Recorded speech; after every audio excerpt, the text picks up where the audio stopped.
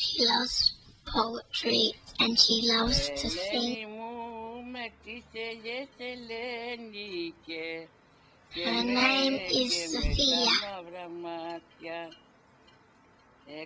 I call her Gaia Sophia.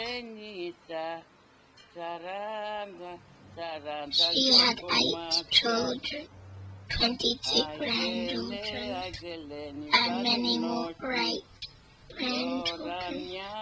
Μια, η ώρα μια θα ξημερώσει. She has given much love in her life. Η γιαγιά μας τη καλή έχει ραφτό Μιχαλή και γαζώνει και Gaia βαλώνει Sophia το loves παντελόνι people. και ο παππούς απ' τη χαρά κατουράει στα I love βαγιά. her too. Έχω ιστορίες να σας πω, ένα σακί γεμάτο. Μα το σακί ετρύπησε και πέσαν όλα κάτω.